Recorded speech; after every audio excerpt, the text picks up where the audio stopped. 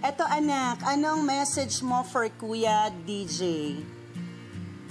Ah, Kuya, gusto mag-thank you sa lahat ng bagay na ginagawa mo sa amin. Sobrang na-appreciate namin yun.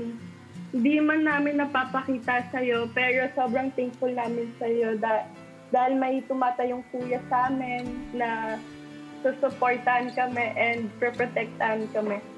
And yun lang. Love you, Kuya. Oh, mag-thank you ka rin kay Hindi Kuya na JC kaya. mo. Kay Kuya JC. Opo, thank you, Kuya. Kuya, Ah, ano message mo kay Kuya JC? ano message mo kay Kuya JC? Anong message mo kay Kuya JC Kay daw? JC, ah, sobrang happy ko kay Kuya JC kasi na nagagawa na niya yung mga gusto niyang gawin ni James niya natutupad na. So, ayun, nandito lang naman kami para mag-support kay Kuya. Oo, mas kasama, magkakasama rin sila mas most of the time nila JC. Kasi si JC mas nasa bahay lang. Sila magkakasama nila Carmela. Oo. Saka alam niya yung dreams ni Kuya JC na natutupad na. Dun, dun, dyan mo nga makikita na tumatanda na talaga si Kaka-stress. Correct. Eh, tanong na rin natin, Lels, meron ka bang message para kay Mama? Kay Mama. Ah, Oh, umiyak agad yung nanay. Baby girl mo ba yan? ano po, ay, ah, thank you, Mama. Kasi sobrang na-appreciate ka namin. Kaming lahat. And lahat ng tinuturo mo sa amin, na-appreciate namin yun dahil in the future, magagawa din namin yun. And di ka namin makakalimutan, pati yung mga mga tinuro mo sa amin, ganun.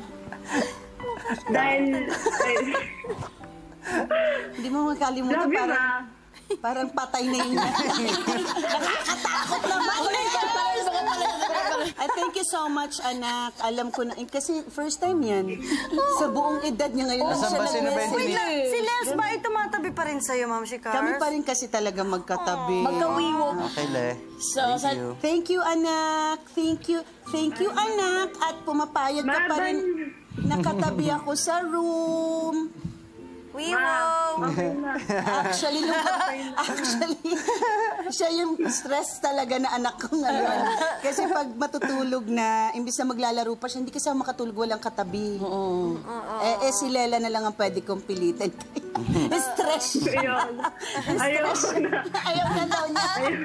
Noli! Ma, ay na, bye, ma.